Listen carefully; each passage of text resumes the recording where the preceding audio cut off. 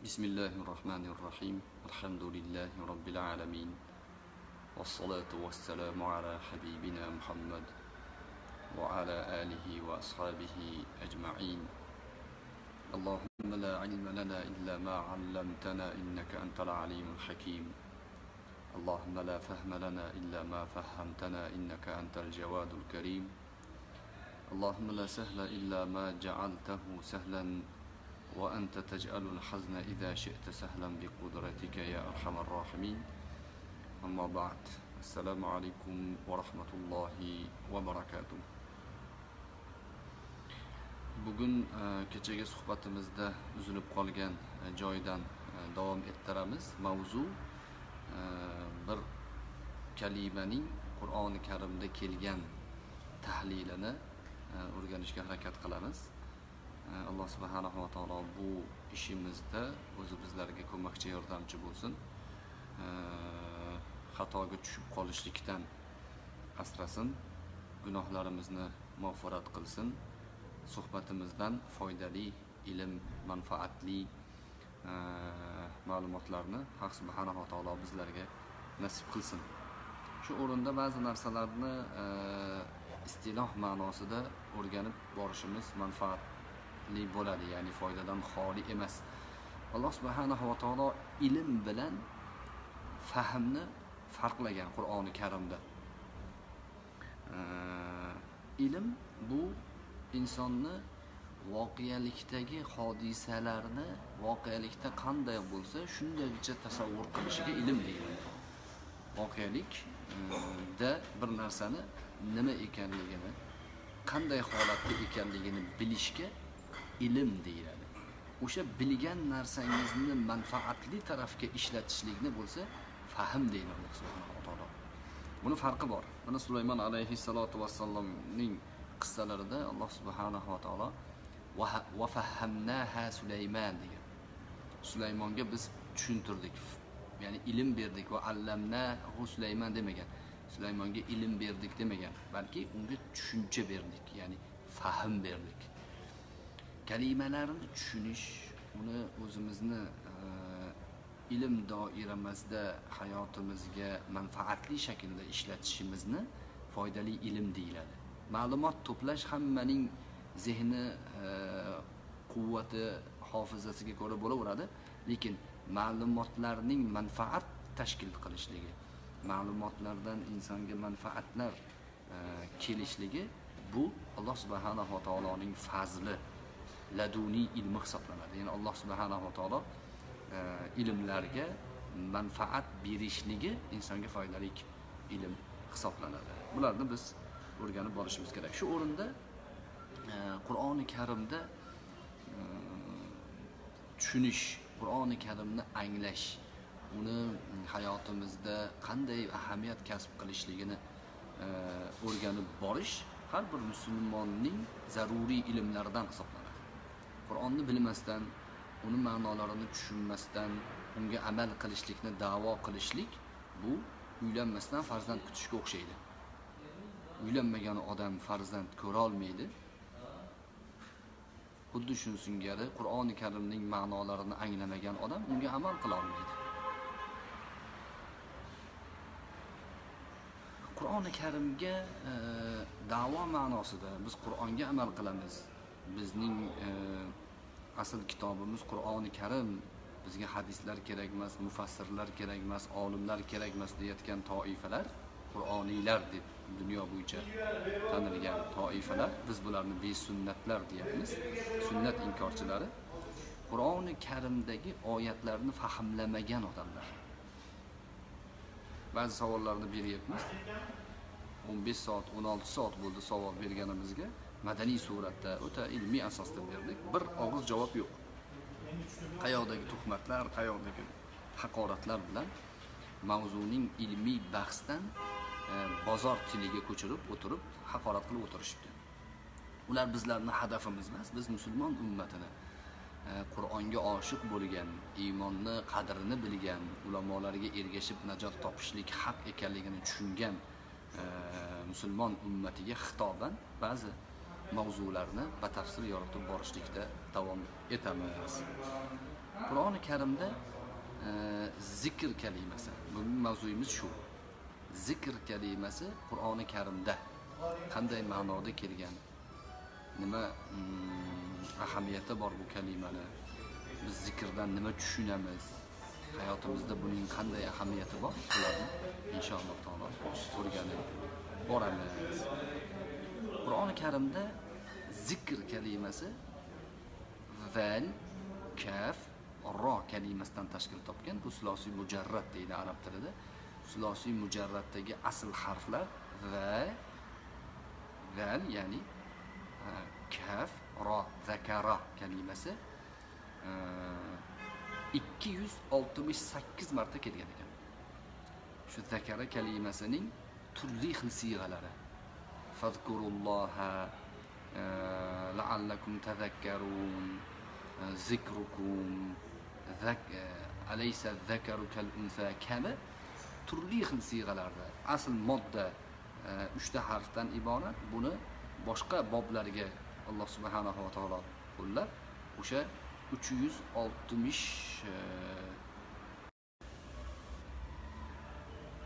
uch yuz oltmish sakkiz marotaba qur'oni karimda ishlatilgan ekan. Masalan alloh subhanahu va taolo ahzob surasida aytadi billahi minash shaytonir rojim ya ayyuhallazina amanu zkurulloha zikron kasiro deydi. Ey iymon keltirganlar ollohni ko'p ko'p zikr qilinglar deydi. Mana bu kalima Allohni eslash yod olish ma'nolarini ifoda qiladi. Bu fe'l vaznida shunaqa siyrada kelyapti. Qur'oni karimda aynan vazkurulloha vazkurulloha Allohni zikr qilinglar. Uslubida 31 marta kelgan ekan. 31 o'rinda Alloh subhanahu va taolo Allohni zikr qilinglar degan. 31 o'rinda. Zikr kalimasini bu fe'l shaklini aytyapmiz. Fe'l zikr qilinglar eslanglar. Zikr o'zi lug'atda eslash tazakkur qilish ya'ni nisyonni ziddi esdan chiqarishlik nisyon bo'lsa eslash zikr bo'ladi.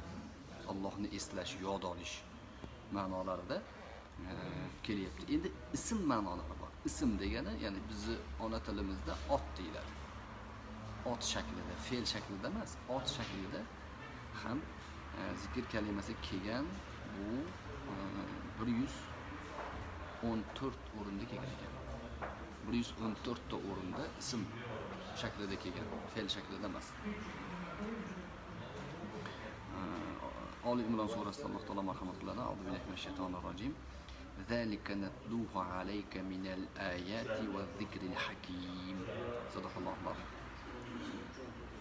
zalika natluhu alayka mana shuni biz sizga tilovat qilib beramiz ey muhammad alayhissalom oyati karimalardan bu oyatlardan allohni mo'jizalaridan biri bu va zikril hakim va hakim bo'lgan o'ta dono bo'lgan zotning zikri bo'lgan ya'ni o'ta dono va e, o'ta hikmatli bo'lgan zikrni sizga tilovat qilib beramiz deyapti alloh taolo. Bunda ism shaklida kelgan ekan.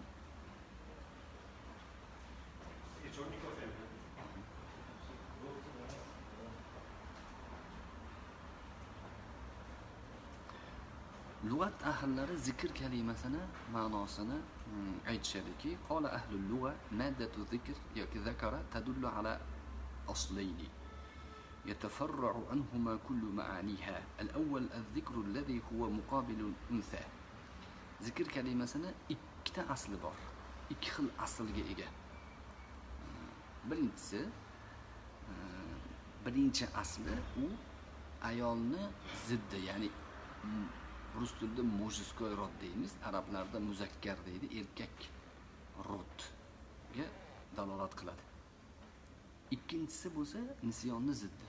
Esdan chiqarishlikni ziddiga zikr deyiladi. Ya'ni yod olish yodlash esga solish esiga olishlikni zikr deyiladi.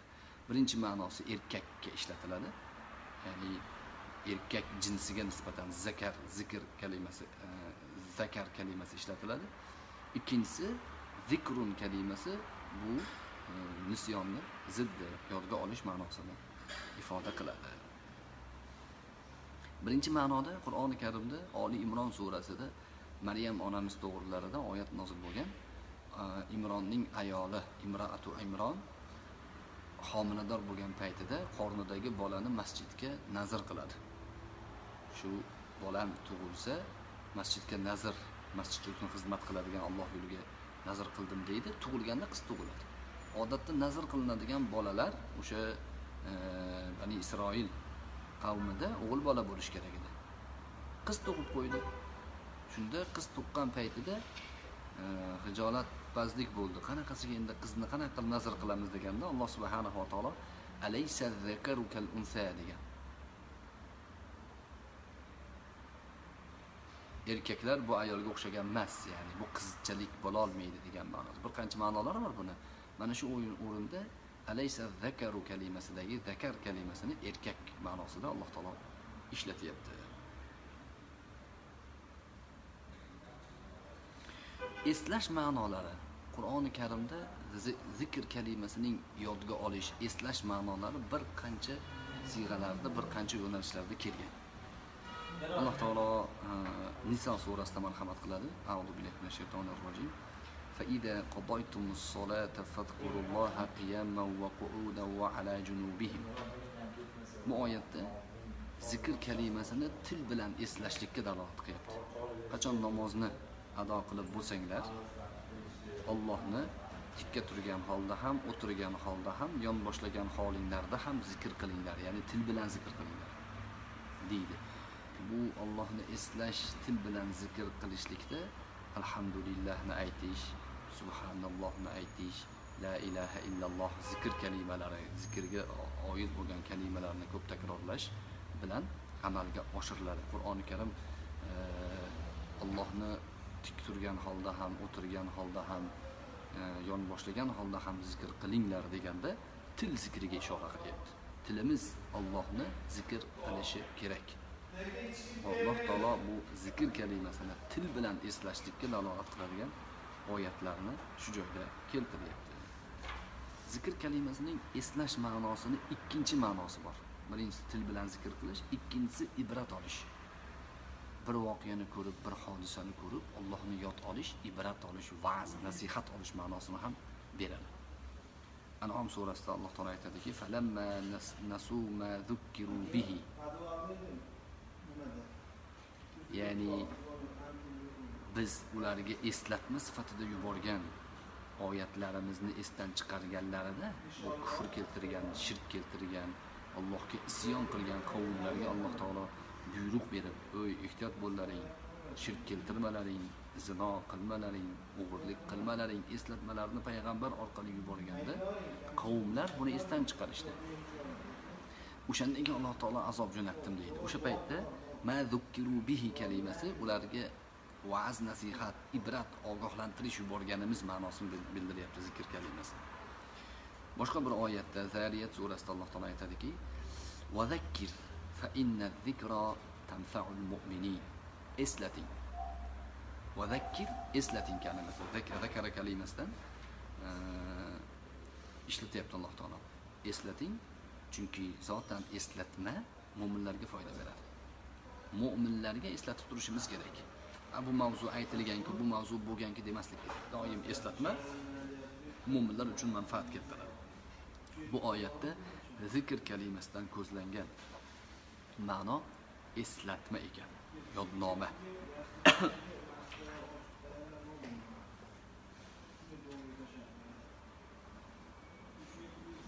Zikr kalimasidan murod hofizada yod olish. esga tushish qalbi bilan his qilishni ham zikrga kalimasiga ma'nosiga ifoda qiladi alloh taolo oli imron surasida marhamat qiladi والذين إذا فعلوا فاحشة أو ظلموا أنفسهم ذكروا الله فاستغفروا لذنوبهم ya'ni fohisha ishni qilgan yomon ishlarni qilgan va o'zlariga o'zlari zulm qilganlar ollohni eslashadi u shunday zotlariki deb maqtayapti alloh taolo gunoh ish qilish xatoga tushish insonning kasbida bor. Bitta xato bilan bitta gunoh bilan insonni tamomiyla e, insoniylik sahifasidan chiqarib yuborish to'g'ri emas. Xato insonning xulqida bor ya'ni xilqatida bor yaralishligida xatoga moyil inson. Qachon shu xatoni qilsa gunoh ishni qilsa ollohni eslab allohga istig'for aytsa alloh subhanava taolo ularni maqtayapti. Mana shu o'rinda zakarulloha allohni eslashadi deganda shu til bilan emas hofiza bilan qalb bilan eslashadi. Alloh yodlariga tushadi. Ro'za tutib olishgan kunduzi chanqab ketgan holda ham allohni eslab tazakkur bilan og'izlarini ochishmaydi qiynalsa ham. O'g'irlik qilish imkoniyati bo'lib turibdi hech kim ko'rmay turibdi lekin ollohni eslaydi u. mana bularni maqtayapti. Zinoga imkoniyati bor hamma sharoiti bor lekin ollohni eslayapti. Mana bularni alloh subhanava taolo e, maqtab zikr qilyapti. Bu o'rinda tazakkur ma'nosini zikrdan maqsad hofizada yodlash allohni doim muroqabada tutish ma'nosini ifoda qilyapti. Yana e, shu eslash yodga olish ma'nolarini maryam surasida alloh taolo aytadiki vazkur fil kitabi maryam. Boshqa oyatlar ham bor. Vazkur fil kitabi ibrohim bu kitobda maryamni tazakkurini ya'ni yodnomasini eslang eslating odamlarga. Ummatga ayting maryam tarixini odamlarga aytib bering. Deganda ham zikr kalimasi ishlatilyapti. Zikr kalimasini toat ma'nosi ham bor itoat qilish. Zikr qil degani itoat qil ma'nosi ham bor. Mana baqara surasida alloh taolo aytadiki auzu billahi minash shaytonir rojim fazkuruni azkurkum. Washkuruli va la takfurun. Vadkuruni ay atiuni aslida shu oyat buni tabari atiuni tafsir qilganlar nimaga atiuni atiuni fima amartukum bihi va nahaytukum anhu sizlarga buyurgan narsalarimda va sizlarni qaytargan buyruqlarimda menga itoat qilinglar deyapti alloh taolo buyruqqa itoat qilinglar. Fazkurunini ma'nosi shu. Azkurkumni ma'nosi usibkum ma'nosida ya'ni bil ajri val mag'firati. Sizlarni menga itoat qilishinglarning mukofoti o'laroq sizlarga ajr beraman va sizlarni mag'firat qilaman degan ma'nosi bor. Alloh subhanava taolo tomonidan mag'firat ajr va'dasi bizga qo'yilgan shart itoat va'dasi. Atiulloha ya atiulmas fadkuruni ay atiuni fima amartukum bihi va nahaytukum anhu. Sizlarniga buyurgan va sizlarni qaytargan narsalarimda menga ergashinglar ma'nosi bor. Bu joyda ham zikr kalimasidan kelyapti. Zikrni qur'on ma'nosi ham mana bu o'rinda o'sha besunnatlar zikrdan murod qur'on deb faqat qur'onni o'zinigina o'zlarining havoyi nafslariga moslash uchun aytayotganlarini ko'ramiz. Zikrni shuncha ma'nosi bor ekan. Qur'on ma'nosi ham bor lekin faqat qur'on ma'nosi yo'q. Qur'on ma'nosi bir necha o'rinlarda kelgan. Alloh subhanahu va taolo anom surasida aytadi va hada zikrun mubarakun anzalnahu. Va bu muborak eslatmadir muborak zikrdir yoki muborak qur'ondir. Anzalnahu uni biz nozil qildik. Uni biz nozil qildik deyapti alloh taolo. Alloh subhanahu va taolo nozil qilgan zikr bu o'rinda qur'onga dalolat qiladi to'g'ri. Lekin qur'ondan tashqari boshqa shariatlarga ham dalolat qiladi. Buni oyatlarni davomida ham ko'ramiz.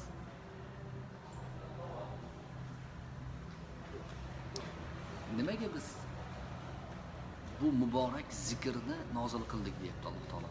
Biz nozil qilgan narsa bu muborak zikr deyapti. Chunki payg'ambarimiz sollallohu alayhi vasallamga nozil bo'lgan qur'on o'qib qiroat qilish bilan kifoyalanadigan qur'on emas. Bu qur'on va'z nasihat oladigan qur'on tarixning xabarlaridan xabardor bo'ladigan qur'on kelajakka eslatma beradigan qur'on hayotimizni ogohlantirishlar bilan ravshan qiladigan qur'on. O'shaning uchun qur'onni alloh taolo zikr deb nomlayapti. Zikrni ma'nosini kengligini ko'ryapmiz. O'sha ma'nolarning hammasi qur'oni karimda jamlangan. O'shaning uchun va hada zikrun mubarakun anzalnahu debdi alloh taolo. Bu muborak zikrdir Buni biz nozil qildik deyapti.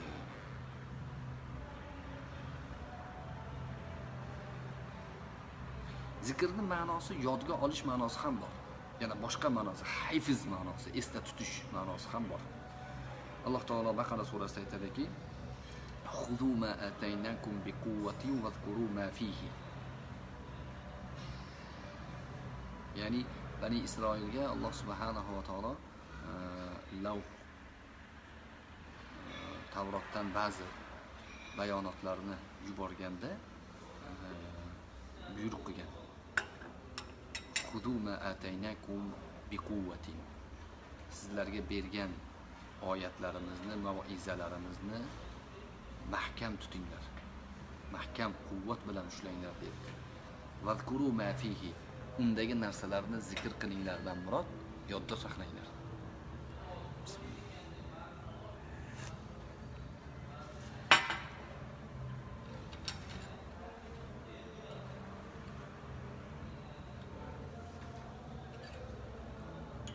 Demak yodda saqlash ma'nosi ham bor ekan zikrdan ko'zlangan e, ma'nolarda ya'ni e, sizlarga biz oyatlar jo'natdik. U oyatlarni mahkam tutinglar ya'ni mahkam amal qilib ushlanglar. Vadkuru mafihi degani undagi buyruqlarni yodda tutinglar. Qaytariqlarni ham esda tutinglar qaytinglar. Esinglardan chiqib qolmasin ro'baro'nalarda bir jinoyat sodir bo'lish imkoniyati tug'ilganda eslanglar. Mafihi qur'onda yoki tavrotda yoki injilda allohning vahiysida sizlarga kelgan narsalarni eslanglar. Dunyoni o'tkinchiligini esda tutinglar. Qilgan jinoyatinglarga dunyoda qutulish imkoniyati ko'rinsada lekin oxiratda albatta javobgarlik borligini eslanglar deyapti bu oyatdagi. Vazkuru mafihidan ma'no shu yana zikr kalimasi qur'oni karimda sharaf obro' martaba ma'nosida ham kelgan. Alloh taolo zuhruf surasida aytadi audu billahi minash shaytonir rojim va innahu lazikrun laka va liqaumika va qur'onda deydi shan shuki qur'oni karimda sizning va qavmingizni zikri bor. Ya'ni sharafi bor. Payg'ambar alayhissalotu vassalomni zikrlari bor. Sharaf ma'nosida obro' e'tibor ma'nosida va arab qavmining e'tibori bor. Arab tilida nozil bo'lyapti qur'oni karim. Hozir tangrichilar degan bir toifa chiqdi. Chiqmagan bu bor edi. Tangrichilar ular aslida millatchi millatchilikdan adovat qo'zg'ab yuradigan toifa. Siyosiy toifa orqasidan kimdir bularni puflab musulmonlarni orasiga turli ig'volarni tashlash uchun yo'naltiradi. Ilmiy asosi yo'q. Arablarga sig'inadi toshga sig'inadi deb musulmonlarni mm, haqorat qilishyapti. Biz qachon toshga sig'indikmiz kabadagi kabani aylanish kabaga qarab namoz o'qish qiblaga qarab namoz o'qish ibodatlarning hammasi alloh subhanahu va taoloning islom ummati orasida qo'ygan intizomga dalolat qiladi. Intizom.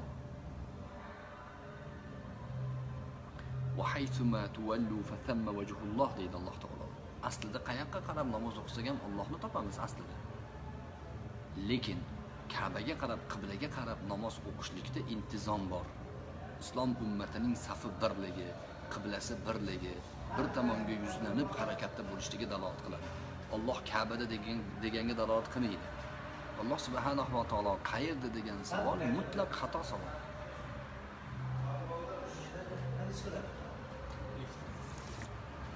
Chunki qayerda degan savol moddaga beriladi. Moddaga. Har har tarafida chegarasi bor jismga nisbatan u qayerda deyiladi. Alloh subhanahu va taolo u chegarasi bor jism emaski unga qayerda deb savol berilsa. Shu ma'noda shu ma'noda falsafiy nuqtai nazardan kalom ilmida olloh qayerda degan savolni berishni xatoligini aytishgan ulamolarimiz ilmiy asosda. Osmonda olloh osmonda deyish xato.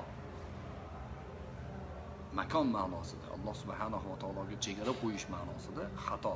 Olloh osmonda desangiz osmondan pastda ollohni pasti bo'lib qoladi. Unaqa yo'q alloh taoloniga oltita jihat berilmaydi. Tepa past yon o'ng qo'l chap qo'l deyilmaydi. Ya'ni tarafi yo'q alloh subhanahu taoloni chegarasi yo'q. Tangrichilar olloh kabada sallarniki bizniki osmonda qilib yotishibdi. Ilmiy asosdan necha chaqirim uzoqda. Alloh subhanava taolo o'zi makonni yaratib makonni ichida bo'lmaydi. Hop hadisda kelganku joriya hadisda imom muslim keltirgan joriya hadisi bor. Hmm, bir odam o'zining joriyasini cho'risini urib qo'yadi. Urib rasululloh sollallohu alayhi vasallamning oldilariga kelishib hmm, kelib maslahat so'raydi nima qilay deganda kaforat uchun cho'ringni ozod qil deydilar. Musulmonmi desalar bilmayman deydi. Chaqirib olib kel deydilar musulmon bo'lsa ozod qilasan degan ma'noda. Chaqirib kelgandan keyin u e, soqov cho'ri qiz johiliyatda o'sgan ilmdan xabari yo'q lekin musulmon bo'lgan. Uni musulmonligini qanday aniqlanadi? Soqov. Qanday aniqlanadi? Tasavvur qiling. Payg'ambarimiz sollallohu alayhi vasallam olloh qayerda? aynalloh dedilar. Deganlarida cho'ri qo'lini mundoq qildi. Bu nima degani? Makka mushriklarining barchasi yerdagi butlarga sig'inishardi. Kabadagi butga sig'inishardi uydagi butga sig'inishardi bozordagi butlarni sotib olib o'shalarga sig'inishardi. O'sha butlarga emas bu butlardan ustun bo'lgan yakka yagona ollohga iymon keltirishligini bilish uchun osmonni ko'rsatdi u. Bu yerdagilarga emas dedi. Ya'ni shu man kimman? dedilar. Deganlarida dedi u zot yuborgan payg'ambarsiz dedi ishora qilib.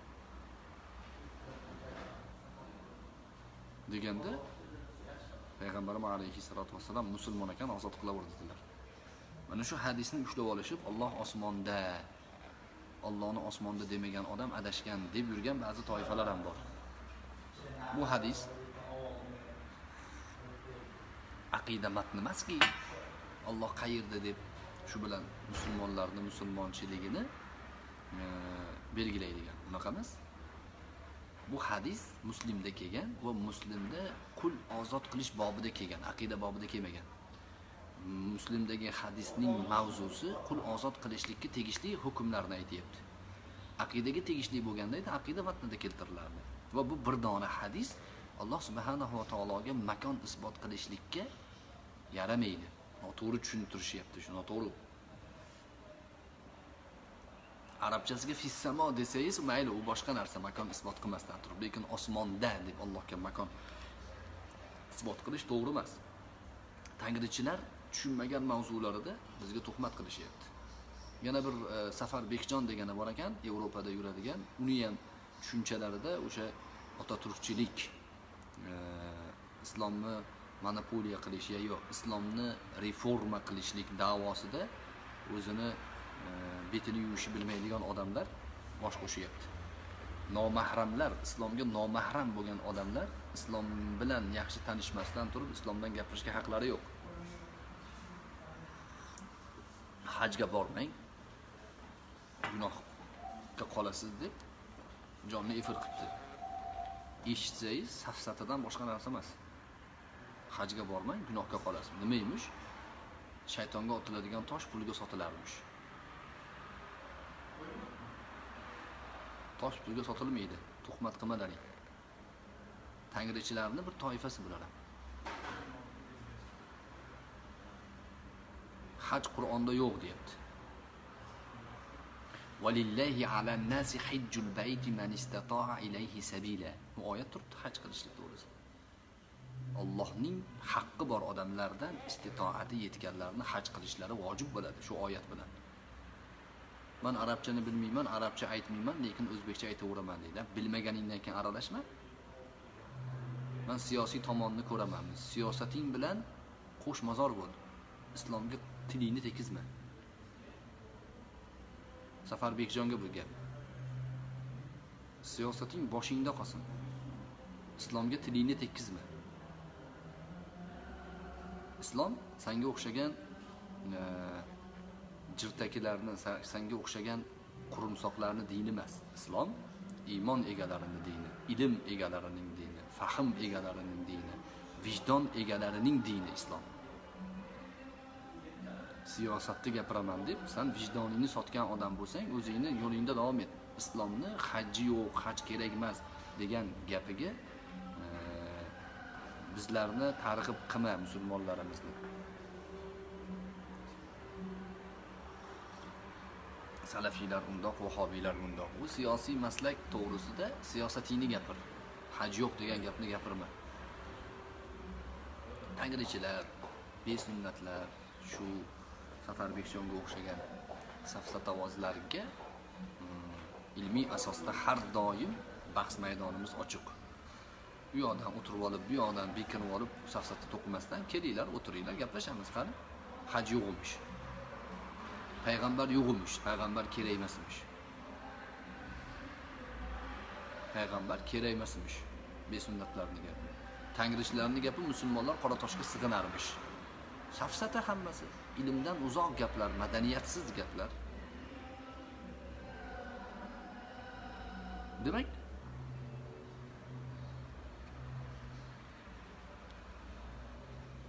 zikr kalimasini yana bitta ma'nosi eslash dedik. Eslash. Biz qur'oni karimda kelgan e, amrlarni esda yodda tutishimiz kerak ularga amal qilishimiz kerak. Buyruq qaytariqlardan doim esimizda turishi kerak ularni qilmasligimiz kerak. Buni zikr kalimasida alloh subhanava taolo bizlarga eslatyapti. Yana sharaf ma'nosi. Sharaf ma'nosini mana qur'oni karimda zikr kalimasi bilan esladik. Laqad anzalna ilaykum kitaban fihi zikrukum va taqiq ey ummat ya'ni payg'ambar alayhissalomning atrofidagi arablarga xitob qilyapti alloh taolo. Ey arablar ma'nosi ya'ni sizlarga bir kitob nozil qildik biz. Sizlarga kitob nozil qildik fihi zikrukum o'sha kitobni ichida sizlarni zikringlar bor. Ya'ni sharafinglar bor. Arab ummatiga arab millati uchun qiyomatga qadar qur'oni karim ularning tilida nozil bo'lganligi sharaf o'laroq yetadi aslida. Arab ummati qur'oni karimni mahkam ushlash bilan dunyoni eng peshvo ummatiga aylana oladi. Qur'ondan boshqa qur'onning vahiysidan boshqa ularga sharaf beradigan narsa yo'q. Arab ummatini bu likkillab sahnaga chiqib olib turib o'ynaydigan o'yindan boshqa narsasi yo'q. Cho'lidan boshqa narsasi yo'q tuyasidan boshqa narsasi yo'q. Bu ummat qur'on bilan sharaflandi.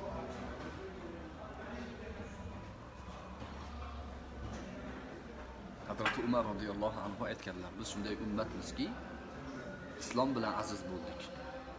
Islomni tanladik aziz bo'ldik deganlar. Islom bizning sharafimizni berdi bizga. Bu yer yuzida eslanishi uchun sabab bo'lgan boshqa hamma jihatlarni sanang.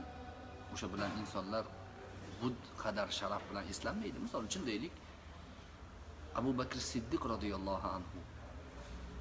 Oddiy tijoratchi bo'lganlar shoyi material sotganlar shu bilan kun ko'rganlar.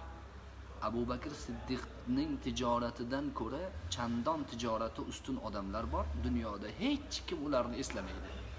Hech kim ularni sharaf sifatida eslamaydi. Abu bakrni nima uchun eslashadi? Chunki fihi zikruhu qur'oni karimda abu bakrning zikri bor. Iymon keltirdi islomni tanladi. Butun dunyo qarshi tursa ham islom bilan turdi. Butun dunyo yolg'onchi desa ham haq gapiryapti payg'ambar deb turdi. Mana shu sharaf u uchun qiyomatga qadar yetarli. Bilol roziyallohu anhu ota onasini qo'llab quvvatlovi yo'q. Cho'ntagida bir chaqa puli yo'q. O'zining shaxsiy huquqi yo'q. Qul birovning mulki. Dunyoda eslanib sharaf sifatida nomini bilol deb qo'yishlikka havas sifatida qoladigan birorta osiladigan narsasi yo'q bilolni hayotida.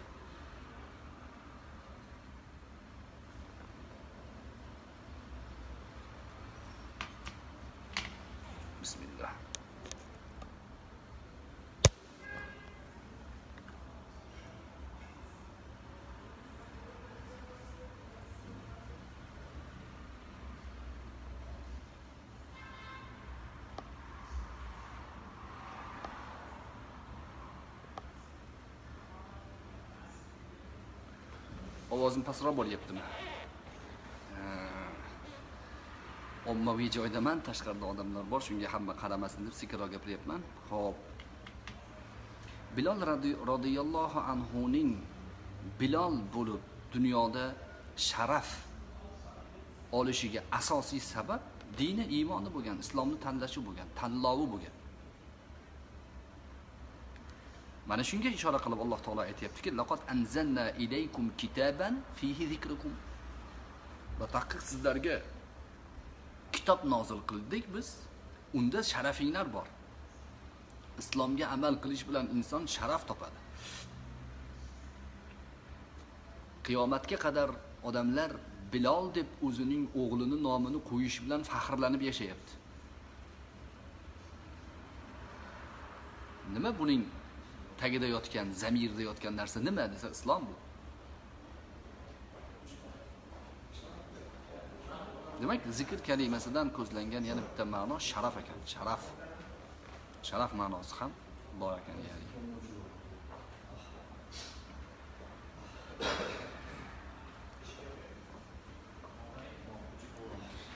Zikr kalimasini yana xabar ma'nosi bor xabar. Alloh taolo ambiyo surasida marhamat qiladi. Auzu billahi minash shaytonir rojim. Hada zikru man ma'iya va zikru man qabli.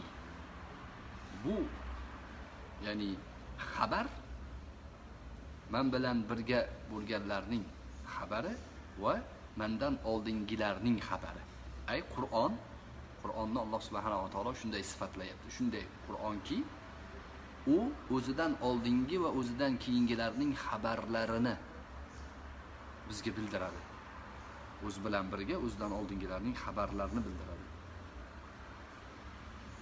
Yana boshqa bir oyatda kahf surasida alloh taolo qul saatlu alaykum minhu zikro ashobi kahfni mushriklar kelib so'raganda ayting ularga uni xabarini sizga tilovat qilib beraman deb ayting. O'sha zikro kalimasi o'sha joyda xabar ma'nosini ifoda qiladi. yana zikr kalimasidan ko'zlangan ma'no shariat allohning shariati olloh joriy qilgan shariatni ham ifoda qiladi alloh taolo toho surasida marhamat qiladi audu billahi minash shaytonir rojim ومن أعرض عن ذكري فإن له معيشة ضنكا kim mening zikrimdan yuz o'girsa unga o'ta qiyin tang hayot beraman deyapti alloh taolo o'sha zikrimdan yuz o'girsa degani shariatimdan yuz o'girsa Mana shu o'rinda qur'onning o'zi vahiy o'laroq allohning haqiqiy kitobi qur'on ekanligiga dalolat qilish bilan tashqari zikrdan murod sunnatlar ham sunnatdan kelib chiqqan ma'nolar ham ekaniga dalolat qiladi. Konkret yangilash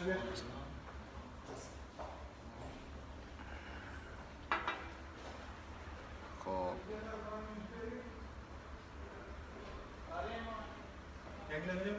mayli. Starbucksdan damlang bu yoqda so'rasa starbucks berishadi. Apparatdan qo'yib ha ha. Shundan qiling mana qarang shakarini ichiga soling qaynoq qilib beradi uchta tashlang. Ho'p zikr kalimasida yana boshqa bir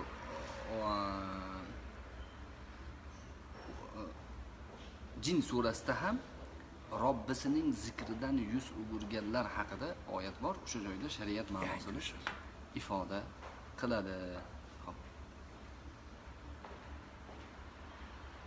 Demak allohning kitobi qur'oni karim payg'ambarimiz sollallohu alayhi vasallamning sunnati saniyalari ham zikrni o'z ichiga olar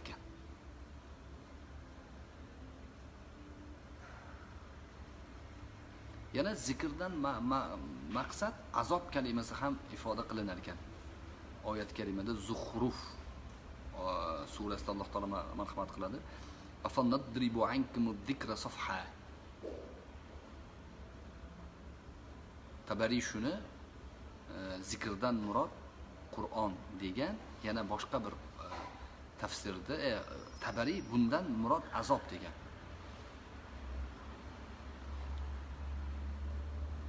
ay afanatruku azabakum va la nuaqibukum ala isrofikum va kufrikum?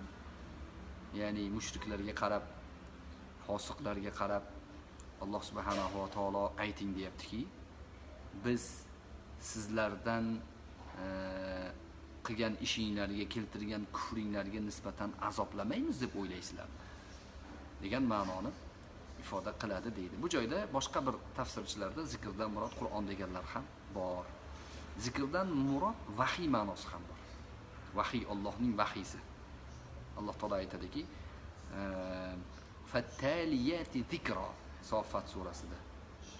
Fattaliyati zikro ya'ni ehm, vahiyni tilovat qilinadigan vahiyga qasam. Alloh subhanahu taolo shunday ehm, qasam ichadi. Bu, bu joydagi zikrodan murod vahyan ya'ni. Fal mulqiyati zikro mursalat surasida. Bunda ham mulqiyat ilqo qilingan nozil qilinayotgan zikrga qasam. U vahiyga qasam. Zikrdan murod tavrot injilga ham dalolat qiladi. Tavrot injilni ham alloh subhanahu va taolo zikr deydi. Fasalu ahla zikri in kuntum la ta'lamun. Fasalu ahla tavroti va ahla injili in kuntum la ta'lamun. Oldingilarning xabarlariga agar shubha qilsangiz bilmasangiz ulardan so'rang. Deyapti alloh taolo. Umumiy ma'noda bu joyda zikrdan murod ahli tavrot ahli injil ekanligiga ham dalolat qilyapti. Ahli kitob ya'ni. Lavhul mahfuz ma'nosi ham bor. Valaqad katabna fi zaburi min ba'di zikri. Biz zikrdan keyin zaburda kitobat qildik va tahqiq deganda e, Said ibn Jubayr bu joyda zikrdan murod allazi fis samai huwa ma'na qawli ta'ala Mm, va indahu ummul kitob lavhul mahfuz degan ekanlar. Said ibn Jubayr. Zikrdan murod bayon. Bayon qilishlik ochiqlab berishlik. Nima degani? Mavhum narsalarni tushuntirib berish ma'nosi ham bor. Val qur'ani zikr deydi alloh taolo. Zikr egasi bo'lgan qur'onga qasam. Qur'on zikr egasi. Zikrdan murod zil bayan ya'ni bayon egasi. Bayon qilib beradigan kitob bu. Har bir narsani haq bilan botilni bayon qilib beradi. Oq bilan qorani bayon qilib beradi bizga.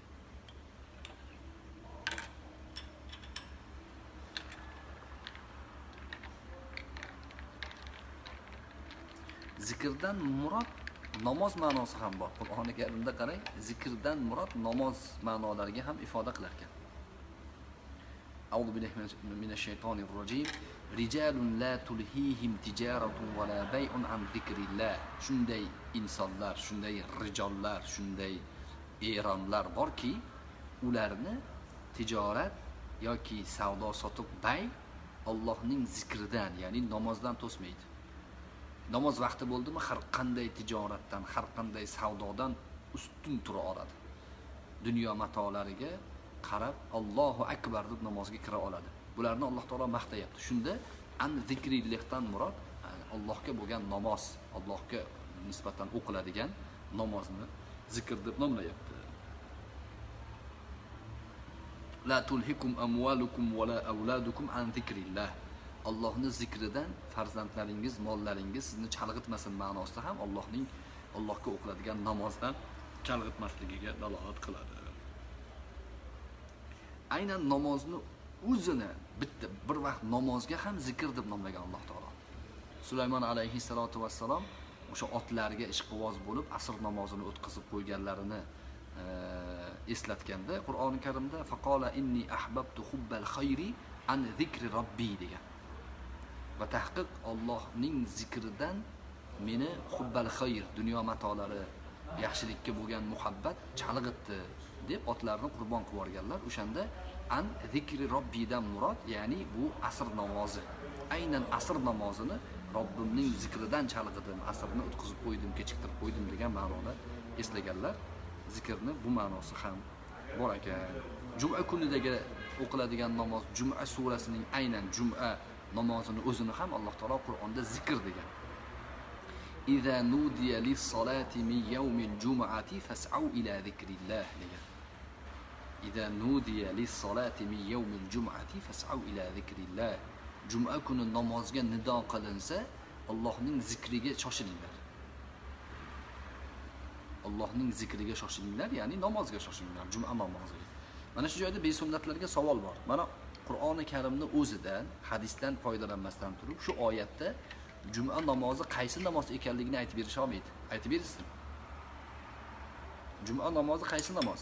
Alloh taolo juma kunida ida nudiya lis-solati namozga nido qilinsa min yawmin jum'ati juma namoz juma kunida fas'au ila zikrillah Allohning zikriga shoshilinglar.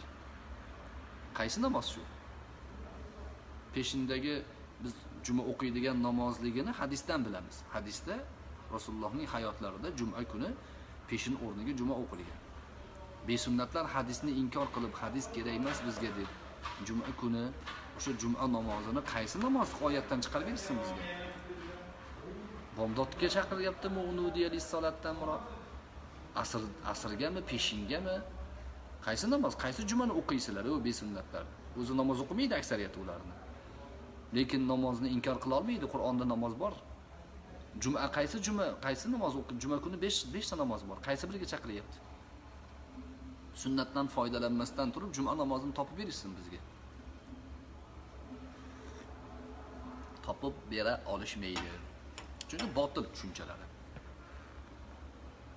demak zikrdan murod aynan muayyan bir namozni ham e, ifoda qilinyapti ekan. Umumiy ma'nolari shu. Alloh subhanahu va taolo e, hijr surasida marhamat qiladi. Audu billahi minash shaytonir rojim. Inna nahnu nazzalna zikra inna nahnu nazzalna zikra albatta biz o'zimiz qur'onni nozil qildik ya'ni zikrni nozil qildik. Va inna lahu va albatta biz o'zimiz uni lahafizun himoya qilamiz muhofaza qilamiz degan. Mana shuni besunnatlar nima deyapti?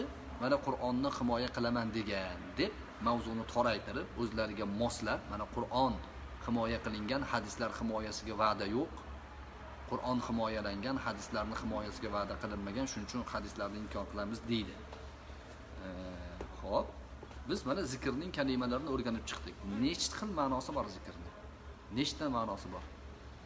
U qur'on ma'nosi bor ekan lekin faqat qur'on emas ekan shariat ma'nosi ham bor ekan. Oman a'roda an zikri kalimasida meni zikrimdan yuz o'girganlar deganda shariatimdan yuz o'girganlar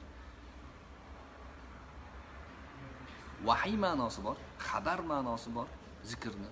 Shuncha ma'nolarni hammasini qo'shib chiqarsangiz payg'ambarimiz sollallohu alayhi vasallamga hmm, nozil bo'lgan qur'oni karim va qur'oni karimdek nozil bo'lgan shariat hadislar bayon qilish litubayyina linnasi ma nuzila ilaykum odamlarga nozil qilgan narsani bayon qilib berishingiz uchun deyapti alloh taolo. Payg'ambarimiz hadislari orqali qur'onni bayon qilib beradilar.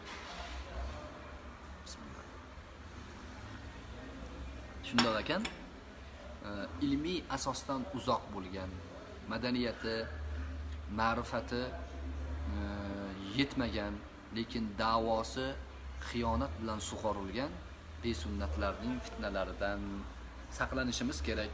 Ilmiy asosda javob berolmayaptimi ulardan hijron qilishimiz kerak. Ularni ignor bugungi til bilan aytganda qilishimiz kerak. Ko'ryapmiz mana bir qancha savollarni beryapmiz. Javob yo'q. Javob berolmasligini bilganligi uchun turli xil tuhmatlar bilan turli xil e, haqoratlar bilan mavzuni loyqalatishib qochib ketishga harakat qilishyapti. E, demak ularning bu o'yinlariga o'ynab qolmasligimiz kerak ekan. Umumiy ma'noda bugungi suhbatimiz shulardan iborat edi.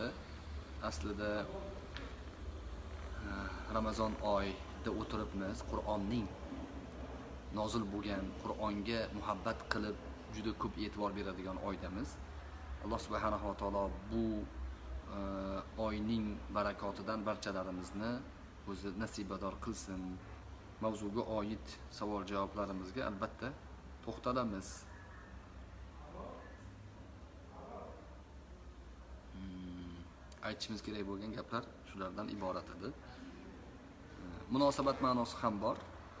Munosabat ma'nosi hali aytganimizdek safar bekjon degan odamga uni hamma gapini bitta bittadan tahlil qilib o'tirishga vaqt isrof deb bilaman.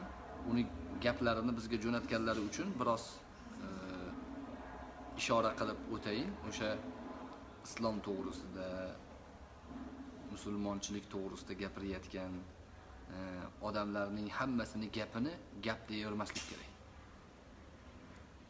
Sohaga aloqasi yo'q. O'zini sohasiga dinni aralashtirib dindan gapirsam e, bir narsalik bo'lib qolaman deyayotganlar gapiga aldanavermaslik kerak. E, ular shariatni ko'chasiga kirmasdan turib o'zlarining siyosiy maslaklariga shariatni xizmat qildirmoqchi bo'lgan odamlar. Safsata siyosiy ma'noda siyosatingni qilaverginda shariatning rukni bo'lgan haj amaliga tilingni tekkizma deyishimiz kerak. Shariatning rukni hajga bormang gunohkor bo'lasiz deyapti. Qayerdan olib gapiryapti uni. Haj qilmagan odam e, haj qilish shart emas. Musulmonlarga haj yo'q la ilaha illallohni o'zi kifoya deyapti. Bularning hammasini uslubi shu bir xil bir xil uslubdagi odamlar. Islomni inkor qilishlik uchun o'zlariga moslashlik uchun e, havoyi nafslariga to'g'ri kelmagan narsalarni inkor qilishlik uchun ko'p narsalarni yo'qqa chiqarishadi. Payg'ambarni yo'qqa chiqarishdan maqsad ham shu ularni maqsadi shu. Chunki payg'ambar alayhissalotu vassalomning gaplariga amal qilish kerak bo'lsa bularning safsatalari ochilib qoladi. O'sha safsatani e, ochilib qolishligini oldini olish uchun bular payg'ambarni inkor qilishadi. Besunnatlar ham shu payg'ambarni inkor qilsa o'shani o'rniga o'zlari o'tirishib payg'ambarning gapini biz gapiramiz deb o'ylashadi.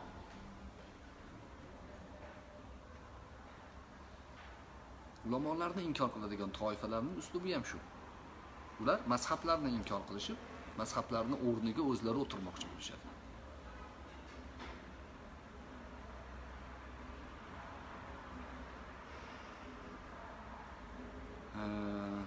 Tangrichilar haqidagi gap tangrichilar atillaga sig'inamiz atilla undoq atilla mundoq deyayotganlar.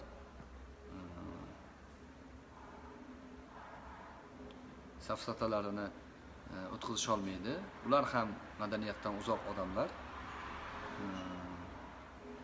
Alloh subhanahu va taolo e, haq yo'lda ilmiy asosda bardavom bo'lib borishimizda o'zi yordamchi bo'lsin.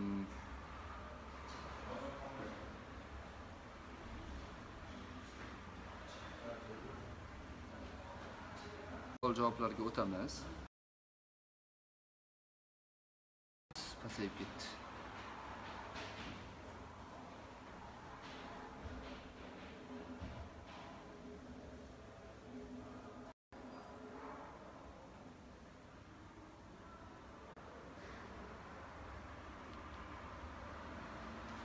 Xo'p, savollarimiz Xo'p, bismillahi rohmanir rohim. Savol javoblarga o'tamiz. Madaminbek Ummatov degan birodarimiz. Assalomu alaykum ustoz. Mavzudan tashqari, ammo Anvar qorining sog'liqlaridan xabaringiz bormi? Qay ahvoldalar? Haqlariga ko'pchilik nomidan duo qilib qo'ying. Alloh shifo bersin debdilar. Alloh taolo shifo bersin. Ahvollari yaxshi, komadan chiqqanlar. Komadan chiqib, e, hozir yana mm, qayta tiklanish jarayonidalar alloh taolo u kishiga shifo bersin qilgan xizmatlarini qabul qilsin. Oramizga yana din xizmati uchun qaytishlarida haq taolo o'zi yordamchi bo'lsin. Mm, boshqa safarda yurgan birodarlarimiz ham duo qilsalar yaxshi bo'ladi. Eldor abdullayev degan birodarimiz assalomu alaykum ustoz do'ppi kiyib namoz o'qishlik to'g'risida sahih dalil bormi? debdilar. Do'ppi kiymay namoz o'qiganlari to'g'risida sahih hadis yo'q sahih dalil yo'q. Payg'ambarimiz sollallohu alayhi vasallamning bosh kiyimsiz namoz o'qiganlari to'g'risida dalil yo'q. Har doim bosh kiyim bilan namoz o'qiganlar bosh kiyim diniy unsur sifatida e'tibor qilinmasada lekin bosh kiyimni yechib tashlab o'qishlik makruh. Bizni hanafiylar buni aytadi hanafiylardan boshqa mazhablar ham aytadi. Hatto bugungi kundagi e, zohiriylar o'zlariga muhaddis sifatida e'tirof qilgan e'tibor qilgan e, zotlardan shaxslardan biri alboniy rohimahulloh ham bosh kiyimsiz namoz o'qishlikni makruh degan. Alboniy aytgan alboniyni kitoblarida bor. Chunki bosh kiyimsiz namoz o'qishlik salaf ulamolarida payg'ambar alayhissalotu vassalomning o'zlarida ummatning jumhurida deyarli bo'lmagan bosh kiyimsiz ibodat qilish boshqa din vakillariga oid bo'lgan. Nasroniylarning bir toifasi bor bosh kiyimsiz boshini shlyapasini yechadi ya'ni hurmat ma'nosi shlyapani yechganda bo'ladi. Islom ummati ularga zid amal qilishgan ibodatdan maqsad ibodat mm, ifodasi bosh kiyim bilan bo'lgan. Bosh kiyimsiz o'qiganlarga dalil bor. Ha qayerda dalil bor desa hajda. Umrada hajda bosh kiyimsiz namoz o'qiganlar. Buni bizni muxtasar buqoyada illa tazallulan kalimasi bilan keltirilgan o'zini zalil xor tutgan holda bosh kiyimsiz namoz o'qisa bo'ladi degani o'sha haj bilan umrada. Haj umrada inson o'zini xor tutadi kafallik kiyib kiyib bosh yalang yalang oyoq e, tikilmagan mato bilan haj ibodatini umra ibodatini qiladi. O'zini xor tutadi o'sha joyda. Modalardan chiqadi. Boyliklarini ko'rsatmaydi. Podshoh bo'lsa ham kafan kiyib bosh yalang Allohni huzurida o'zini xor tutadi. Ana o'sha joyda ruxsat. Boshqa o'rinlarda makruh. Nimaga? Ziynatdan kechgan bo'lib qoladi. Namoz o'qishlikka urinayotgan odam imkoniyati sharoiti bor ekanmi? Ziynatli kiyim kiyish kerak. Ziynatlanish kerak. Bosh kiyim har davrda musulmon ummatining ziynati hisoblangan. Alloh taolo qur'oni karimda xudu zinatakum inda kulli masjid degan. Har bir masjidda har bir ibodatda sajdagohda ziynatingizni oling degan ziynatlaning degan.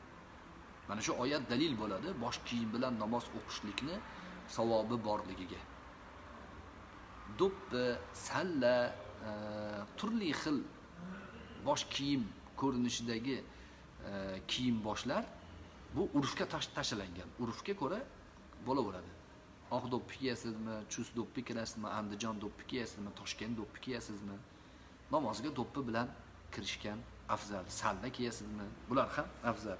Salla to'g'risidagi hadislarda zaif to'g'ri o'ta zaiflari ham bor. Lekin o'sha salladan murod bosh kiyim ekanligida ixtilof yo'q. Uni ibodat kiyimi demaymiz. Haligi aytganimizdek avval xuddi biz e, islomda qandaydir ruhbon sinfini shakllantirish yo'q. Bizda ahli sunna val jamoada shu. Ruhbon sinfini shakllantirilmaydi islomda.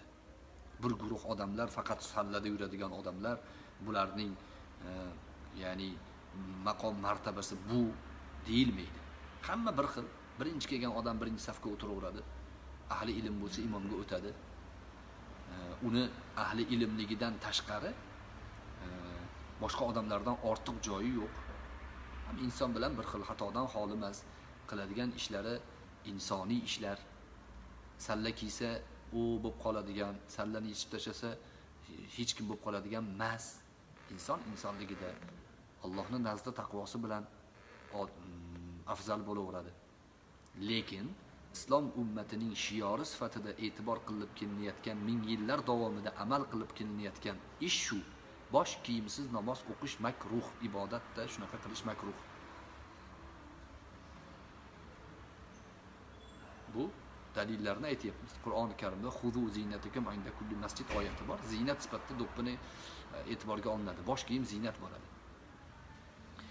Va payg'ambarimiz sollallohu alayhi vasallamning haj va umradan boshqa biror o'rinda bosh kiyimsiz namoz o'qiganlari rivoyati yo'q.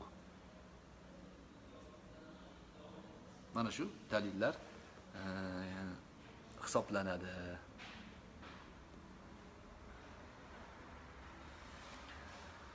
Sulaymonov oybek degan birodarimiz asadahulloh fiddorayn qanday ma'noni bildiradi debdilar. Ikki hovlida ham alloh taolo saodatli qilsin degani. Ikki hovlida ham degani e, ikki dunyoda ham dunyo hovlisida ham oxiratda ham baxtli saodatli qilsin degani. Safar bekjon jurnalistmidi debdilar. Bilmayman kimligini. Hmm, ko'k bayroqni ko'tarib olib e, o'zini reklama qilib yurarkan. Kuzatmayman u odamni. Manga shaxsiy qutichamga jo'natishibdi uni haj haqidagi aljiragan gaplarini. Shariat to'g'risida juda bilmagan narsalarga aralashyapti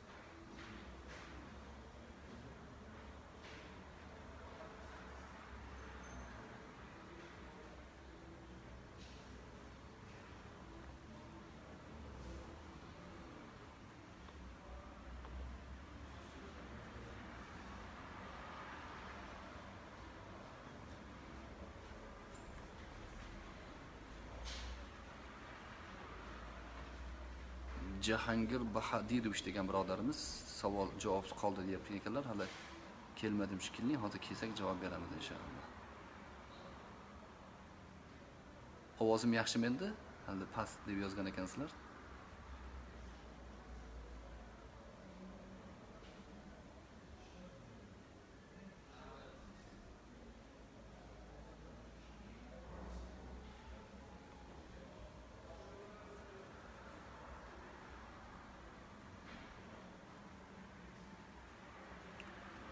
Ulug'bek yakubov degan birodarimiz iftorlikni yaxshi qilib oldingizmi? Qora aka ulug'bekman deydilar.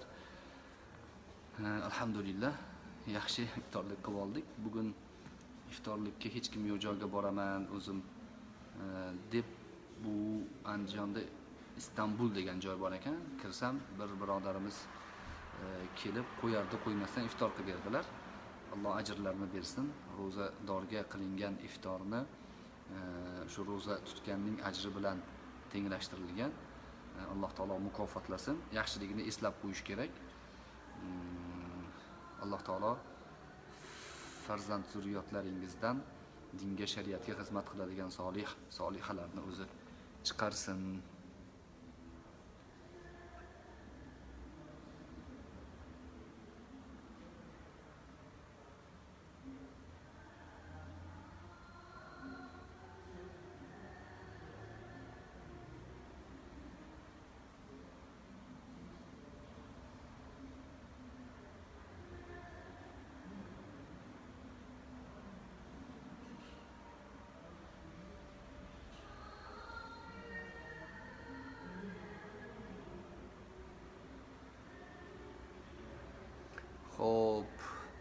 Ali To'rayev degan birodarimiz oilalari to'g'risidagi ba'zi narsalardan e, tashvishda ekanlar. Farzandlari birinchi turmushlaridagi, birinchi oilalaridagi farzandlari birinchi oilada qolib ketgan ekan, dindan qaytib ketdi deyaptilar. Ya'ni musulmonchilikdan chiqib ketgan bo'lsa, inna lillahi va inna ilayhi rojiun. Alloh taolo o'zi e, najot bersin. Bolani tarbiyasidan tashvish qilyaptilar.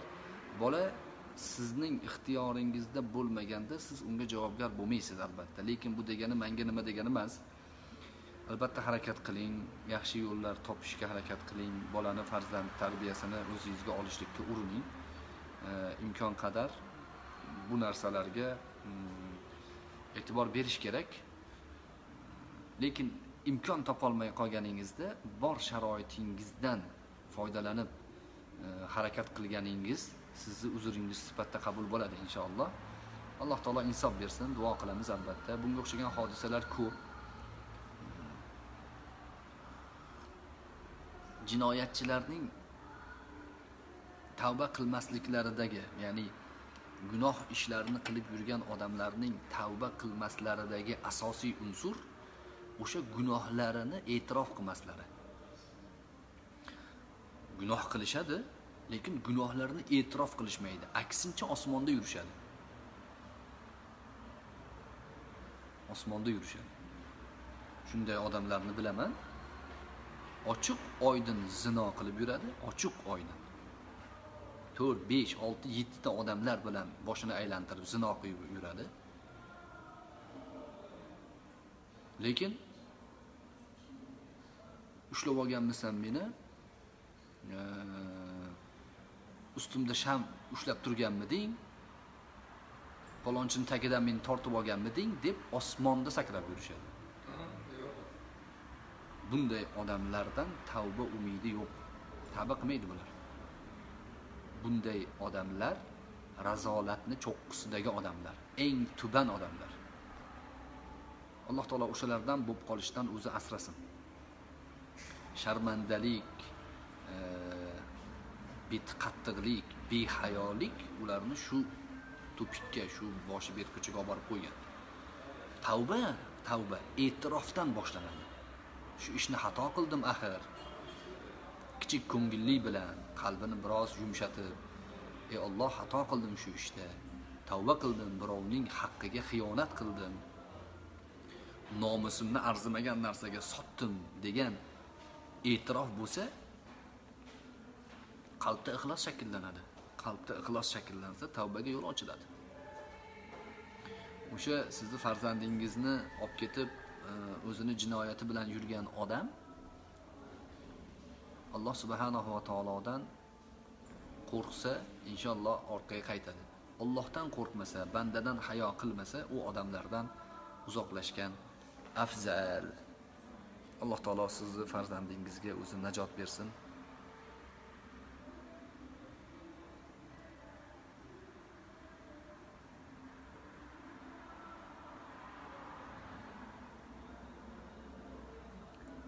Odil sunnatov degan birodarimiz. Assalomu alaykum domla.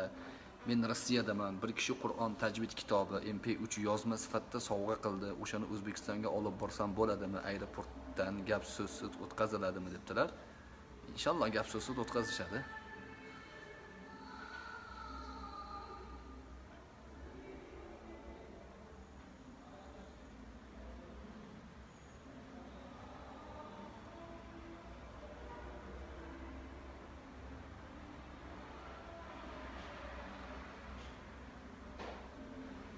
Muhammad solih norbayev degan birodarimiz. Assalomu alaykum domla. Allohning panohida bo'ling. Savol. Masjidda taroveh namozlarini tajvidni bilmaydigan domla o'qisa masjidda o'qimay uyda o'qisak bo'ladimi? Juma namozini ham tajvidsiz domla o'qisachi javob uchun oldindan rahmat. Savolim fitnaga sabab bo'lishi mumkin bo'lsa uzr javob bermasangiz ham mayli debdilar.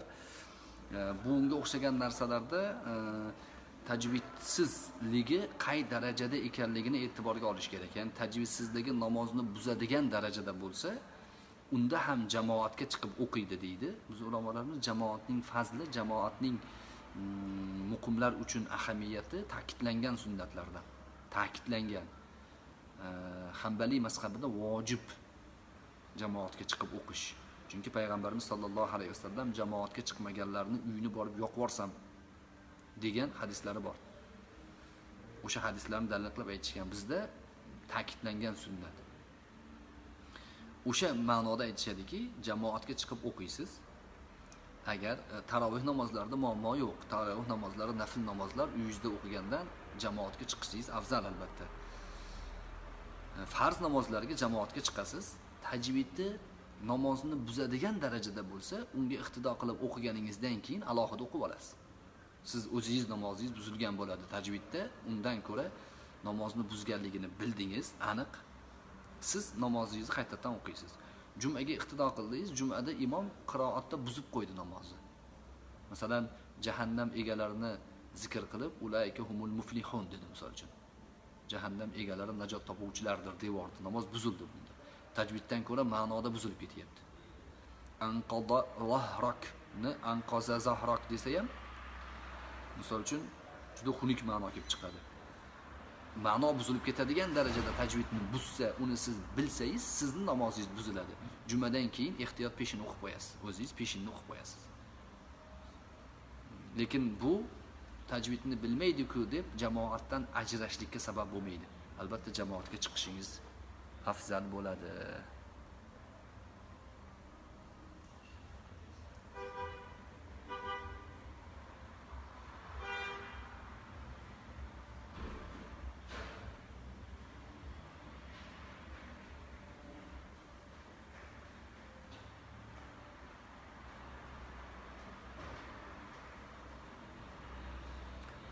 Bobur boburov degan birodarimiz men kafeda ishlayman keyingi paytda bu yerda chigirtka o'rgimchak va shunga o'xshash boshqa hasharotlar chiqib qolyapti.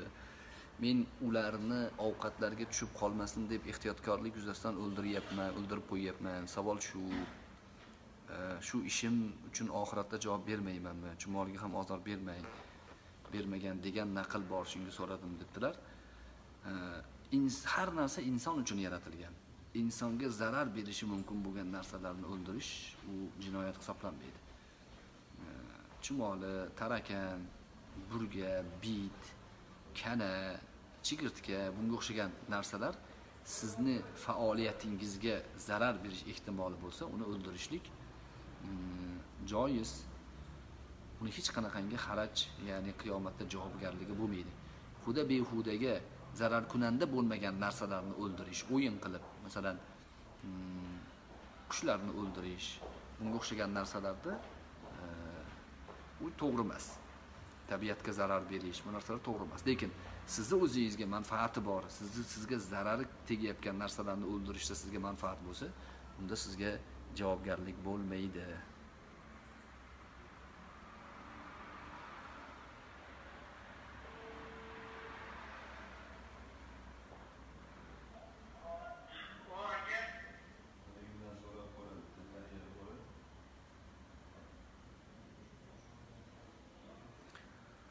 Dilmurod mirjalilov degan birodarimiz vaqt masalasini aytibdilar. Mayli xudo xohlasa xudo xohlasa siz aytgan vaqtni ham mo'ljallab ko'ramiz lekin e, bizni suhbatlarimiz suhbatdan keyin yozilgan holda sahifamizda qoladi ko'pincha. O'shaning uchun o'sha sahifadan keyinchalik eshitsangiz ham keyin telegram kanalimiz bor o'sha kanalimizda ham buni mp3 muqobilini qo'yyapmiz. O'shandan eshitib olaverasiz xudo xohlasa.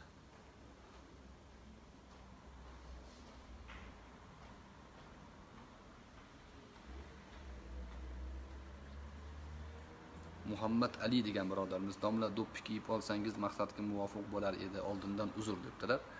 Qaysi maqsadga muvofiq bo'ladi? Sizni gapingizdagi maqsadgami? Bilmadik albatta do'ppi kiyib yurgan yaxshi.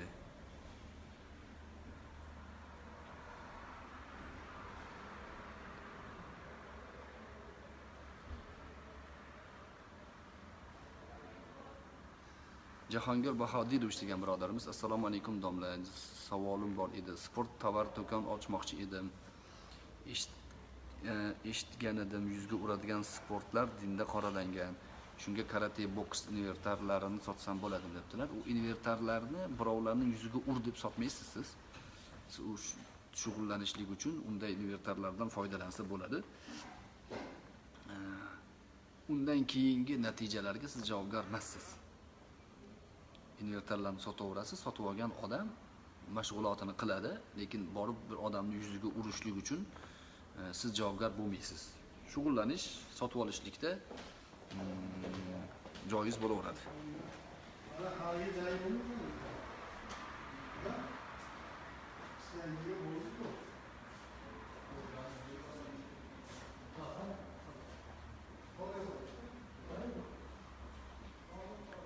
ramazon yoz birodarimiz assalomu alaykum deyaptilar alaykum assalom va rahmatullohi va barakatuh.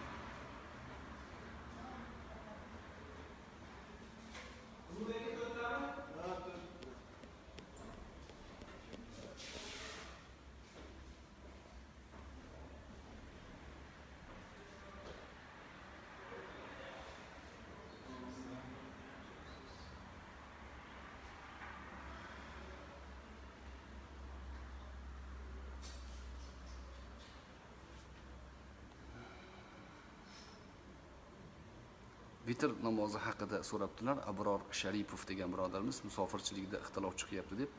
Vitr haqida alohida javob berganmiz. O'sha javobga telegramda bir ko'rilsa e, batafsilroq to'xtalganmiz. Sulaymonov oybek birodarimiz hamidulloh beruniy hafizahulloh shayx hazratlarining shogirdlari bo'lganmi debdilar. Ha shogirdlaridan bo'lgan. U kishi Sulaymonov Oybek, Sodiq Samarqandiy domla Abdulloh Zufarni ustozimi? Men Abdulloh Zufarni eshitmayman debdilar.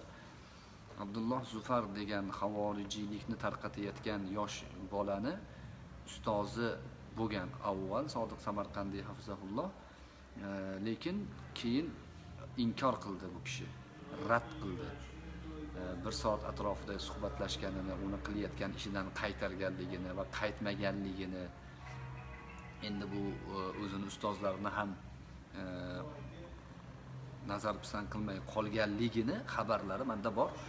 Sodiq samarqandiy hafizahulloh u abdulloh zufarni e, yoqlaydigan vaziyatda emas.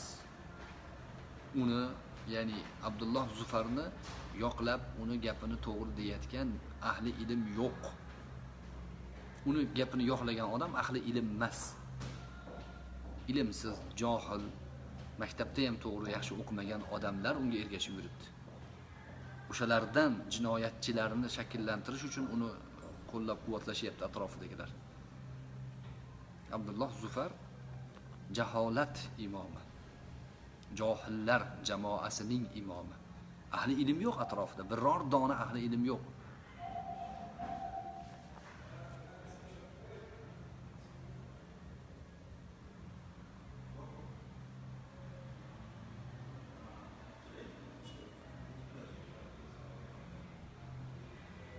Hozir qayerdasiz deb so'rayaptilar abdug'oniy aka degan birodarimiz. Andijondaman. Bog' shamol e, mehmonxonasidamiz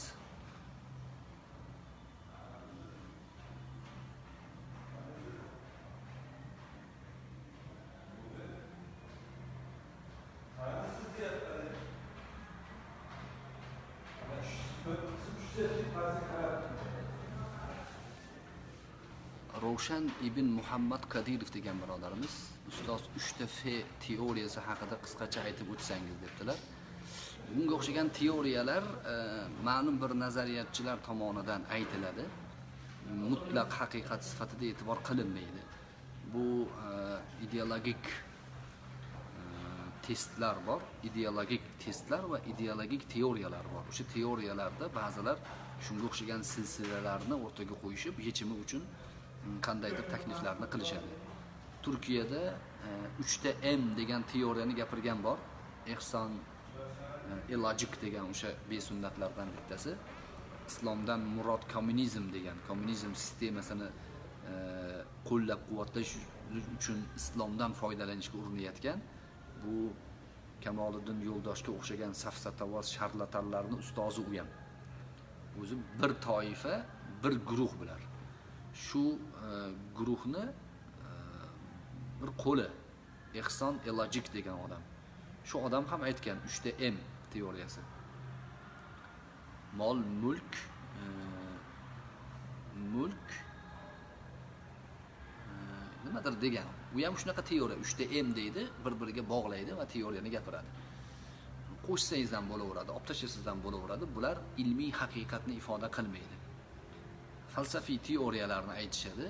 Uchta fedan murod e, futbol fiesta fahsh deyishyapti.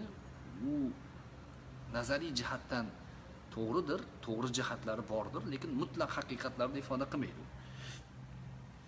Siyosiy o'yinlarda chizilishi mumkin mumkin bo'lgan grafiklar desak to'g'ri bo'ladi to'g'ri o'sha jihatdan. Futbol fanatizmi dunyoda juda ko'p narsalarda foydalaniladi. Futbol fanatizmi ijtimoiy ongni shakllantirib uni boshqarishlik uchun tayyor e, malzama ya'ni tayyor mol sotib olsa bo'ladigan narsa. Besh ming odam besh ming emas yigirma besh ming odam stadionga kirdi. Ikkita guruhni tarafkashlari. Bularni yo'naltirish bularni qo'liga pul berib oldingda yuradigan hammani boshqarib ketishi mumkin bo'lgan odamlarni yo'naltirishlikka katta maydon futbol. Juda ko'p mamlakatlarda xalq nomidan davlat to'ntarishlari futbol fanatizmi orqali ham amalga oshirilgan. Butun ko'chalarni vayron qilib tepib sindirib ketishlikka tayyor jamoat u. Aqlli odam bitta ikkita aqlli odam ham ularni jamoasiga kirib qolsa o'sha aqlni yo'qotadi. Chunki ergashmasa olomonni ichida talpaga qolib ketadi. O'sha futbol fanatizmi? Xavfli bu to'ppa to'g'ri. Fiesta har narsani yengil sanash. O'yin kulgiga olib borish e, muqaddas tushunchalarni poymol qilish islom deganda hamiyat qo'zg'alishligini o'ldirish. Bularni hammasi teoriyalar bor teoriyalar. Ehtiyot bo'lib buning nazariyalarini to'g'ri yo'lga qo'yish kerak. To'ppa to'g'ri. Lekin mutlaq haqiqat sifatida qarashlikka hech kim e, da'vo qilmaydi. Aytayotgan bu teoriyalarni aytayotgan odamlar ham bu da'volarni qilishmaydi. O'zlari aytayotgan teoriyalar bu. Ha- haqiqati bormi? Bor. Mutlaq haqiqatmi? Yo'q. O'rganish kerak bo'lgan va ehtiyot bo'lish mumkin bo'lgan jihatlardan foydalanish kerak. Futbol fanatizmi ko'zimiz ko'rib turibdi o'zi. Ijtimoiy tarmoqlarda ham odamlarni ikkiga bo'lyapti. Dadasini himoya qilmaydi o'sha ronaldoni himoya qilgandek ba'zi odamlar. O'zini akasini himoya qilmaydi yoki o'zini ukasini himoya qilmaydi o'zini millatini himoya qilmaydi messini himoya qilgandek. Shunaqa darajaga olib kelib qo'yishyapti.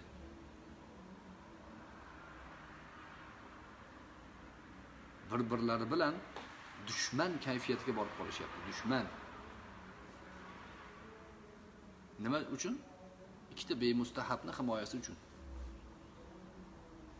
O'sha teoriyaning haqiqiy tomonlari shular. O'yin kulgiga maishatga e, itrof maishatparastlikka berilish botish cho'kish ham bu xavfli. Millatni xavfga soladigan vaziyat. Payg'ambarimiz sollallohu alayhi vasallam farzand tarbiyasiga aytganlarida farzandni biroz mm, odob tayog'i bilan ham tarbiyalashlikka buyurganlar. Ulamolarimiz farzand tarbiyasiga mana imom g'azoliyning muhammad ibn abu hamid g'azoliyning ihyolarida farzand tarbiyasiga e'tibor qilganda aytganlarki bolaga har doim laziz taomlarni beravermaslik kerak. Ba'zan qotgandan ham yesin bola. Yosh bolani tarbiya qilayotganingizda pulingiz ko'p bilamiz sharoitingiz bor xohlagan narsani yedira olasiz lekin xohlagan narsani yedirmang. Bola bir kun haftada bir kun ikki kun och qolsin. Ya'ni qattiq non yesin. Doim chiroyli kiyim kiyavermasin biroz eskiroq dag'arroq kiyimni ham kiyib katta bo'lsin bola. O'sha fiestaga tushmasin bola. Yengil oilaga yengil hayotga o'rganib qolmasin. Chunki ertaga sizdan chiqib mustaqil hayotga chiqqanda og'ir kunlarni ko'radi u. O'sha kunlarda dovdirab qolmasligi sinib qolmasligi uchun u hayotning issiq sovug'ini yoshligidan his qilib katta bo'lishi kerak. Fahsh endi u yerda xavfli teoriyalardan bor. Fahshga hamma har tomonlama o'sha televideniya orqali reklamalar orqali juda katta urg'u berilyapti. Judayam xavfli vaziyat bu. Yevropalarda avvaldan qilingan hozir ular joniga tegib tashlab yuborgan bizga kirib kelyapti shular. Reklamada ayollardan foydalanish. Xavfli.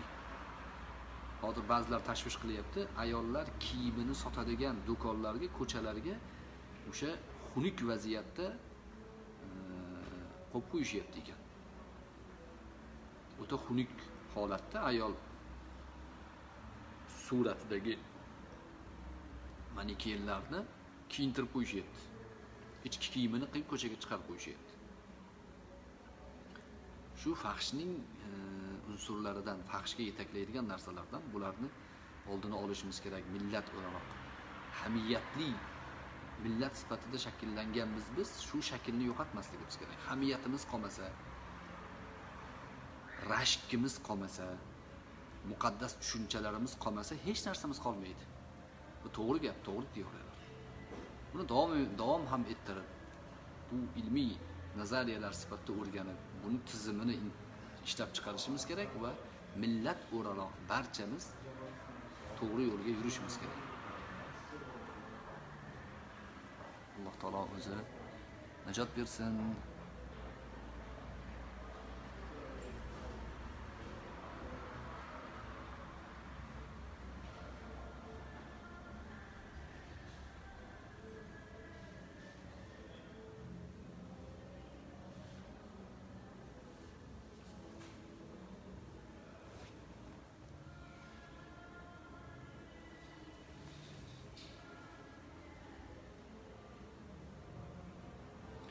Ne'mat o rahimov degan birodarimiz ustoz mas, e, uzoq e, uzoq masofaga haydovchilar har doim yo'lda bo'ladigan fura haydovchilari ro'za tutmasa ham bo'ladimi debdilar. Safardagi odamlarga ruxsat bor. Safarda yurgan odamlarga e, alloh subhanahu va taolo e, istisno qilgan ro'zani farzligini ro'zani buyrug'ini aytgandan keyin davomida ومن كان في سفر شهر رمضان الذي أنزل فيه القرآن هدى للناس وبينات من الهدى والفرقان. فمن شهد منكم الشهر فليصوم ومن كان مريضا أو على سفر فعدة من أيام أخر. ومن كان مريضا kimda kim kasal bo'lsa ro'za tutolmasa av ala safarin yoki safarda bo'lsa mana sizlar ketgan safarda yuradigan bo'lsa fa iddatun min ayyamin uxor boshqa kunlarda uning iddasini ya'ni sonini ado qilib beradi. Bir kunga bir kun tutib beradi. Ularga ruxsat bor. Bu degani safardagi odam tuta olmaydi degani emas. Lekin safardagi odam tuta olmaydi emas ruxsat bor tutmaslikka tutsa va antasumu lakum deydi alloh. Tutsa o'ziga yaxshi sizlarga o'zinglarga yaxshi deydi. Biloliddin umarov degan birodarimiz attahiyot surasini o'qiyotganda ko'rsatkich barmoqni ko'tarishni hukmi nima ustoz alloh rozi bo'lsin hammamizdan debdilar. Attahiyot sura emas attahiyatu lillahi va salovat va toyibat bu payg'ambarimiz sollallohu alayhi vasallamning sunnatlarida kelgan zikr. Bosh barmoqni e, ko'rsatkich barmoqni ko'tarishlik sunnatda bor. Buni ishoriy sabboba deymiz maqolalarni qilganmiz. Batafsil to'xtalganmiz. Ba'zilar bu mavzuda payg'ambarimiz sollallohu alayhi vasallam umrlarida bir marta qilgan ekanlar xolos uni qilish shart emas deyish deyish bilan bu ishorai sabbobaga kelgan hadislarni inkor qilisholmaydi to'g'ri emas ali qoriy e, bu mavzuda juda katta e, gaplarni gapirganlar qattiq gaplarni gapirganlar. Va dalillarni keltirganlar. Zohir rivoya bor. Imom muhammadning kitoblari zohir rivoyada imom muhammad aytganlarki zohir rivoya hanafiylarni eng asos kitoblari hisoblanadi. Imom abu hanifaning usullarini to'plagan imom abu hanifaning asl e, ishtihodlari zohir rivoyada oltita kitob bor shunda to'plangan. O'sha imom muhammadning kitoblari. Shunda imom muhammad aytganlarki ishorai sabbobani shaklini boshqasini dalillarni keltirib aytganlarki buni ustozimiz qilardilar deganlar. Ya'ni abu hanifa qilardilar sunnat sifatida qilardilar deganlar hanafiylarda bor bu. Fiqh kaydoniyda makruh yoki harom deyishligi e, bor. Ba'zi kitoblarda shunga o'xshagan gaplar bor. Lekin u gaplar tanqidga uchragan ulamolarni hanafiylarning o'zini mashhur ulamolardan e'tiborli ulamolar tarafidan tanqidga uchragan. Ali qoriy fiqhi kaydoniyni sohibi meni zamonimda bo'lganda darra urdirardim deganlar. Chunki chunki sunnatda sunnatda bor narsani sunnatda bor narsani e, inkor qilish sunnatda yo'q deyishlik bu e, jazo talab qiladi deganlar. Jazo talab qiladi. Chunki e, o'n sakkizga yaqin hadis sharif bor. Shakllar turli xil bo'lishi e'tibori mushtahidlarni ishi qaysi shakl quvvatli qaysi shaklni olish e'tibori bu ishtahid mushtahidlarni ishi. Lekin bu sunnat bir marta qilingan uni tark qilamiz degan usul hadislarning muhtavosini hadislarning amalini inkor qila olmaydi.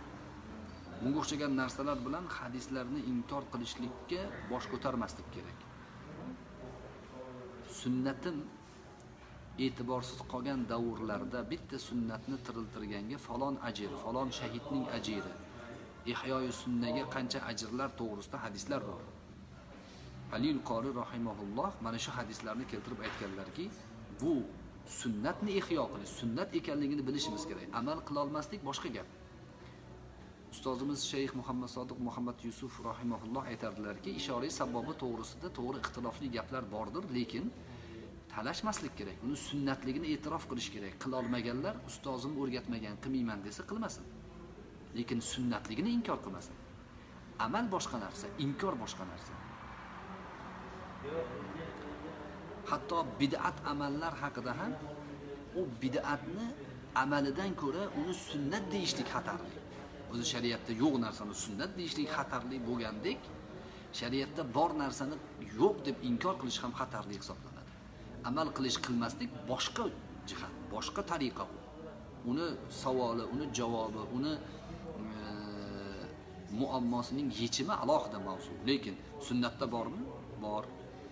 Hadis shariflar bormi? Bor. Uning tariqalari hanafiylarda olinganmi? Olingan. Imom e, muhammad e, rahimahulloh biz qilganmiz ustozimiz qilgan deb zohir rivoyada aytyaptilarmi? Aytyaptilar. Abu hanifa qilganlarmi? Qilganlar hanafiy mazhabida bunga amal qilgan ulamolarni e, eng kattalari eng bosh imomi azam rohimaullohdek zot qilganmi? Qilgan. Nima uchun inkor qilasiz? Nima asosda inkor qilasiz? Us- usulingizni ayting bizga. Nima asosda inkor qilasiz? Fihi kaydoniyni harom degan. Fihi kaydoniyni biz bosh ustiga ko'taramiz lekin tanqid qilgan ali qoli u kishini. Zamonimda bo'lsa darrov o'ldirardim degan. Qanaqa sunnatni harom deydi degan. Uni tavil qilganlar bor o'shandan kelib chiqadigan fitnani harom degan. Chunki shialarni davrisida yashagan odamlar ishoriy sabboba qilsa o'ldirilgan. Hozir ham xavfli. Shialarning regionlarda yashagan odamlarni ahli sunna ekanligini shialar ishoriy sabbobadan biladi. Ishora sabboba qilsa bu sunniy ekan deydida orqasidan suiqasd qilishadi. Qilishgan rofizalar shunaqangi bir razin jamoa bo'lgan. Terror tashkiloti bo'lgan o'zini davrida. O'sha fitnani oldini olish uchun ulamolar aytgan deb tavil qilishgan. Ishora sabboba harom degani o'shandan kelib chiqadigan fitna harom. Lekin u sunnatda bor u o'sha tomonlarga e'tibor berishimiz kerak. Bir aziz muhtaram mehmonimiz kelib qoldilar. Birodarimiz sizlar bilan savol javoblarni davom ettiramiz. Keyinchalik e, birodarimiz bir e, tabrik sizdan eshitaylik sizdan ham. E,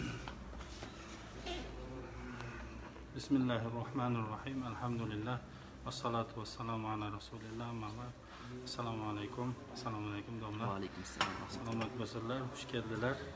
Bizni andijonni nurga to'ldirib sharaflantirdilar. Alloh taolo bu o'zlarini kuzatuvchilarini eldan istifoda olib turgan kishilarni ham mana xizmat safarida bo'lsalar ham ha, istifodalantirib foydalantirib turibdilar. Alloh taolo o'zi kuch quvvat bersin hammamizga ham e, dinimizni fahmini to'g'ri tushunib uni tadbiqini hayotimizga to'g'ri tatbiq qilib borishligimizni nasib etsin. Domlani xizmatlari katta albatta o'sha bugungi kunda bizni bu tanlagan muxtor bo'lgan bizni diyorlarimizda tanlangan mazhab aqida masalalari. Balki bu o'sha rasululloh alayhissalotu vassalomga alloh haq subhanahu va taolodan kelgan din. Ana shu dinni to'g'ri tushunib to'g'ri tushuntirishlik muhim narsa. Hozirgi kunda odamlar o'zlariga bir din yasab olgan yo ifrotda yo tafritda bo'lib turgan holatlari bor. Mana shu o'rinda ustozlardan an'ana bilan E, dinni olib ulardan o'sha har bitta hadisni fahmini o'rganib har bitta oyatni tushunchasini an'ana bilan sahoba ikromlar qanday tushungan bo'lsa e, ummat salaflari qanday tushungan bo'lsa uzilib qolmasdan e, mana shu ustoz shogirdlik yo'li bilan tushungan odamlardan dinni tushunishlik zarur. Mana shu narsada mahkam bo'lishligimiz hammamizga kerakli ish. Shuning uchun ham biz domla bilan doimiy ham fikr holatda. Siz azizlarga ham mana shu ishda sobit qadam bo'lishinglarni so'rardik. Shu ustozlari tayin bo'lgan kishilardan a, diniylarni o'rganishinglarni tavsiya qilardik. Chunki bu dinni qayerdan olayotganimizga qarashligimizga buyurilganmiz. Ana shuning uchun alloh taboraka va taolo domlamizni sobit qadam qilsin. Iloyim qayerda bo'lsalar ham mana shu xalqimizni xizmatiga dinimizni xizmatiga kuch quvvat bersin.